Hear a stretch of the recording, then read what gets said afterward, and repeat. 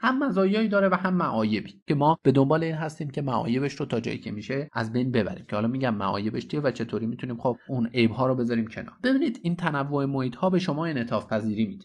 یعنی شما با توجه به اون یوز کیسی که دارید با توجه به اون موارد استفاده ای که دارید می‌تونید از محیط مناسب استفاده کنید که برای اون کار طراحی شده. اما از طرف دیگه اون عیبی که راجع به صحبت می‌کنیم اون عیب همون سردرگمیه یعنی شما یه عالمه محیط می‌بینید که می‌تونید ازش استفاده کنید. حالا ما مثلا اینجا هدفمون محاسبات علمیه خب بیام از کدوم یکی استفاده کنم؟ مخصوصا برای افرادی که تازه می‌خوان کارشون رو شروع کنن. حالا چه داخل خود برنامه نویسی به زبان پایتون چه داخل کارهایی به خصوصی که می‌خوان انجام بدن این باعث یه خورده سردرگمی میشه. اینکه این همه محیط برنامه نویسی وجود داره و من نمی‌دونم از کدوم یکیش بیام استفاده کنم. من اینجا می‌خوام یه توضیح کوتاهی بدم راجع به چند تا از محیط های معروف و موارد استفادهشون رو بگم و بعدم بگیم که حالا پیشنهاد ما چیه که داخل این آموزش ازش استفاده کنیم. اما راجع به این نکته هم صحبت می‌کنیم که اگه استفاده نکنیم چه اتفاقی میفته خب اولین محیط معروفی که من می‌تونم راجع بهش صحبت کنم اینه که شما بیاید از یک text editor استفاده کنید. یه text editor ببین text editor های خیلی مختلف وجود داره. مثلا بزنید text editor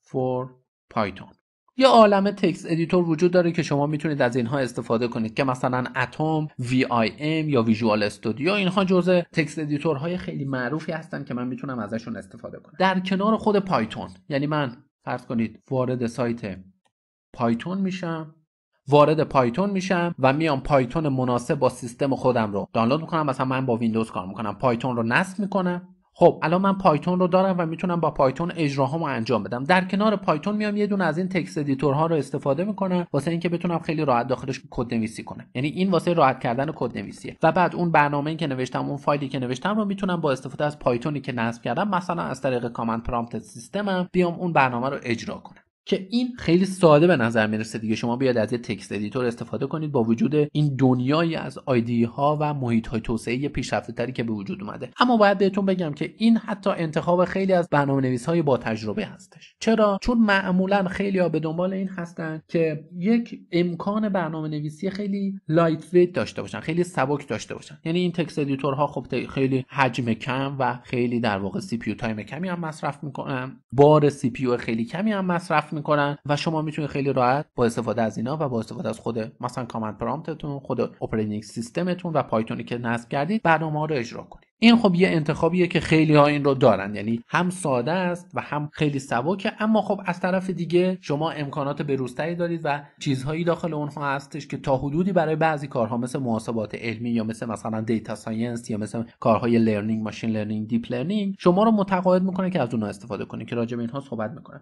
اما بدونید این یه انتخاب خیلی راحته. یه text editor ساده مثل یکی از همین هایی که دارید می‌بینید در کنار خود پایتون. که حالا یه انتخاب خیلی ساده ساده اینه که شما خود پایتون رو وقتی نصب می‌کنید یه دونه IDLE براتون نصب می‌کنه. یعنی وقتی نصب کردید search کنید داخل سیستمتون IDLE که با اون IDLE خب شما می‌تونید همین کاری که میگم رو انجام بدید. اونم به عبارت یه text editor اما قابلیت اجرای کد رو هم داره. که اونم خب خیلی محیط توسعه سبکی هستش که هنوزم خیلی ازش استفاده می‌کنن. پس این انتخاب اول هستش که من بیام همچین انتخابی داشته باشم. حالا یا IDLE ی خود پایتون که کاملا یه text editor نیست. چون این مخصوص خود پایتونه و قابلیت اجرا داره Python shell داره. حالا اگه آشنا باشید با IDLE ی اما خب میشه گفت که خورده مثلا پیشرفته تره نسبت به همون که شما بیاید از یه text editor و خود پایتون استفاده کنید. این دوتا رو در کنار همدیگه من به عنوان یه امکان می‌شناسم که خیلی ساده و خیلی راحت. خب این یه دونه. امکان دیگه چیه؟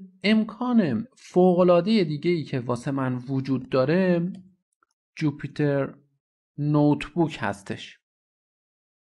بذار من Jupyter Notebook رو باز کنم. حالا ما بیشتر صحبت می‌کنیم راجبش فعلا فقط معرفیه. Jupyter Notebook یک web application ه که میشه کد پایتون رو داخلش نوشت و از طریق web browser اجرا کرد. حالا یا Google Chrome یا Firefox یا هر web browser دیگه ای که داری. که این محیط این Jupyter Notebook برای محاسبات عددی برای تحلیل برای آنالیز داده برای کارهای learning machine learning deep learning بسیار عالی و فوق العاده چرا؟ چون شما حالا جلوترم بیشتر راجع بهش صحبت می‌کنیم و خصوصیاتی که داره رو می‌بینیم چون شما می‌تونید همه چی رو یک جا داشته باشید. شما می‌تونید کدتون ورودی و خروجی ها داده ها گراف ها توضیحات شکل ها همه رو داخل یه فایل داشته باشید. و این یه ورک خیلی در واقع شسته رفته و آماده بهتون میده.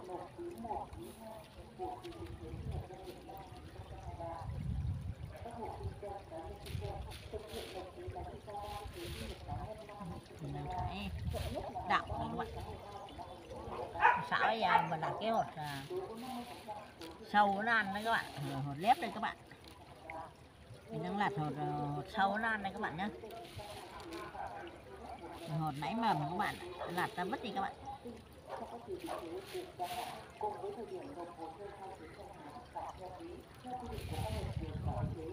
trường hợp gì các bạn